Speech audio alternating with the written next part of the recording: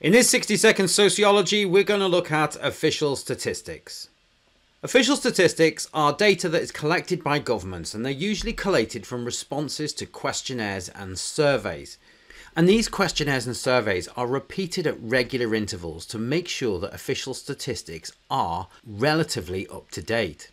Some of the strengths of official statistics are that they are reliable. They are collected by government sources, and because they are repeated on a regular basis, this gives them greater reliability.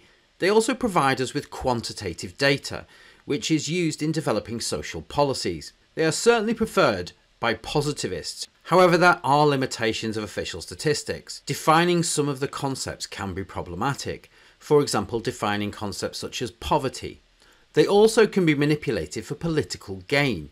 A further limitation is that often they provide us with an overview, but they fail to explain why things happen.